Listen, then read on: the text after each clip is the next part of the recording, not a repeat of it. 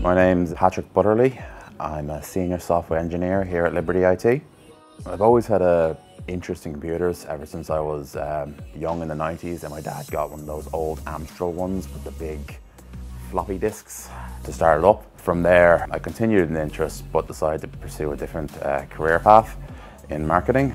After a little while I realised that really wasn't what I wanted to do or where I wanted to be and I uh, got the opportunity to retrain in software and I took it. There's no wrong time to start.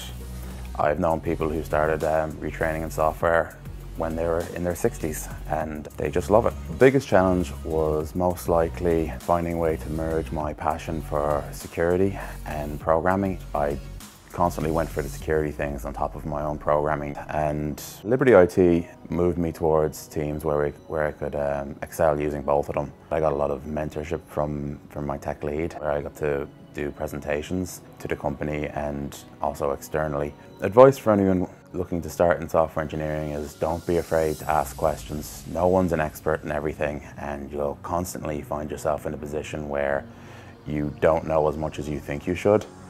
So don't be afraid to ask. If you're unsure, chances are someone else there is as well.